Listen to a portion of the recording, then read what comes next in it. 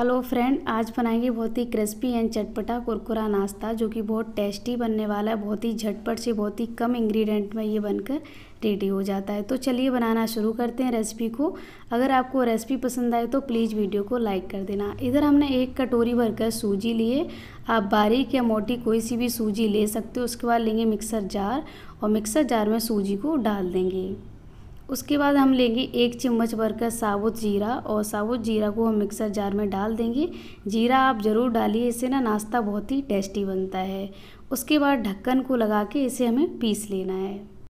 हमने सूजी को पीस लिया है। आप देख सकते हो ढक्कन हटा के आपको दिखाते हैं। इसका पाउडर बनाकर रेडी कर लिया है।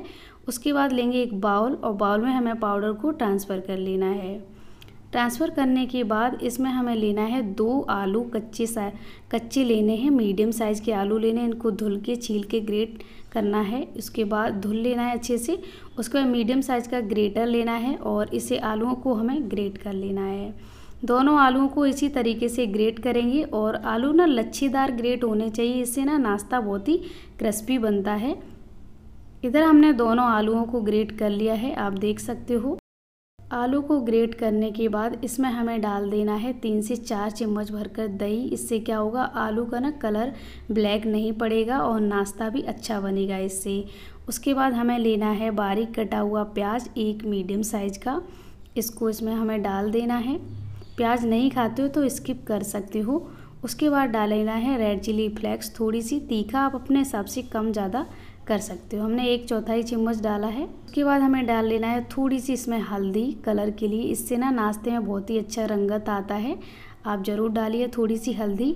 उसके बाद टेस्ट अकॉर्डिंग इसमें नमक डाल देंगे। नमक डालने के बाद इनको सारी चीज़ों को अच्छे से इसके साथ हमें मिक्स कर देना है मसाले को। बहुत ही कम मसाले पड़ते हैं इसमें और ज़्यादा मसाले भी नहीं पड़ते, इसलिए बहुत ही टेस्टी बनेगा ये नाश्ता। उसके बाद हमें क्या करना है मिक्स करने के बाद थोड़ा थोड़ा करके पानी डालेंगे। पानी नॉर्मली होना चाहिए। उसके बाद इसको मिक्स करते जाना है। एकदम से पानी नहीं डालना है थोड़ा थोड़ा करके डालोगे तो बहुत ही अच्छा डो ऐसा बैटर बनकर रेडी हो जाता है। थिक सा बैटर चाहिए, ना ज़्यादा जैसे मोटा चाहिए, ना ज़्यादा थिक चाहिए, ना ज़्यादा पतला चाहिए। आप देख सकते हो कंसिस्टेंसी आपको इस तरीके की बैटर की रखनी चाहिए। उसके बाद हमें लेना है एक टमाटर बारीक कटा हुआ, इसके सीड्स निकाल देने हैं, उसके बाद इसमें हमें बारीक कट करके डाल देना है टमाटर को।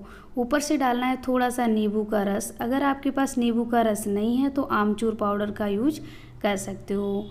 उसके बाद डालेंगे थोड़ा सा फ्रेश हरा धनिया बारीक कटा हुआ। इसकी जगह पे आप करी पत्ता या फिर पुदीना के पत्ता ले सकते हो। उसके बाद सारी चीज़ों को मिक्स कर देंगे। इधर बैटर बनकर रेडी हो चुका है, आप देख सकते हो। उसके बाद हमें लेना है एक पैन और गैस के ऊपर रख देंगे, गैस ऑन कर देंगे। दो चम्मच भरकर ऑयल डाल देंगे इसमें और ऑयल से इसे ग्रीस कर देंगे पैन को। पैन ग्रीस होने के बाद उसके बाद हमें लेना है वाइट कलर का तिल। आप नहीं है तिल तो वाइट कलर वाला तो ब्राउन तिल या फिर जीरे का या राई यूज़ कर सकते हो इसकी जगह पे। उसके बाद हमें इसके बैटर डाल देना है।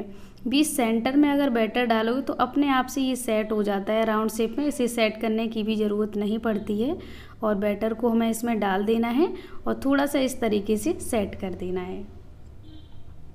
सेट करने के बाद ऊपर से हमें डाल लेना है तिल, थोड़ा सा अगर आपके पास है तिल तो डालिए, नहीं तो स्किप कर सकते हो। उसके बाद थोड़ा सा रेड चिली फ्लेक्स इसमें डाल देंगे ऊपर से।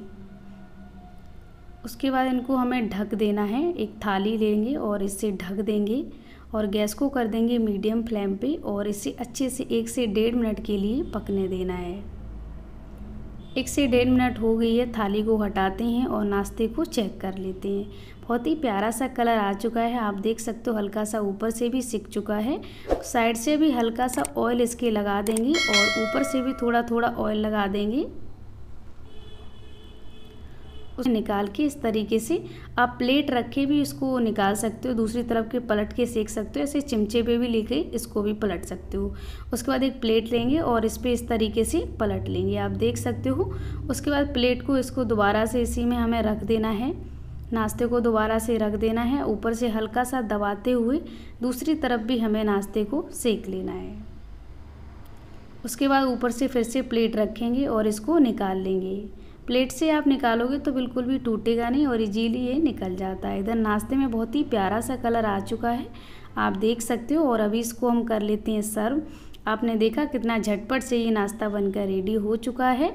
अगर आपको हमारी रेसिपी पसंद आई है तो प्लीज़ वीडियो को लाइक कर देना चैनल को सब्सक्राइब कर लेना। थैंक फॉर वॉचिंग मिलते हैं आपको